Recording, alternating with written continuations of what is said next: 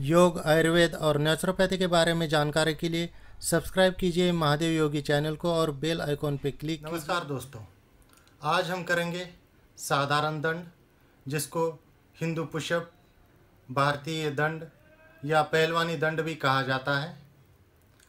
साधारण दंड बहुत ही पुरातन और प्रचलित दंड का प्रकार है, व्यायाम का प्रकार है, जो शरीर के स्वास्थ्य के लिए बहुत ही इफ़ेक्टिव है।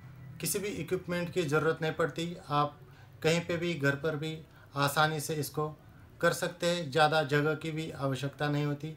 कम जगह में भी इसको बहुत ही आसान तरीके से किया जा सकता है।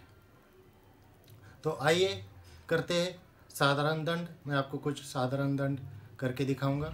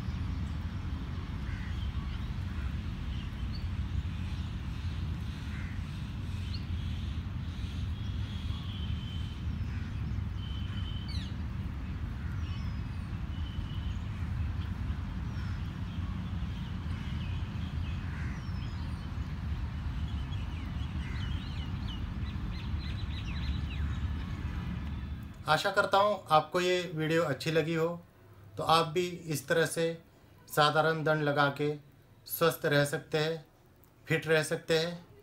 अगर आपको ये वीडियो अच्छी लगी हो तो लाइक कीजिए, शेयर कीजिए। धन्यवाद।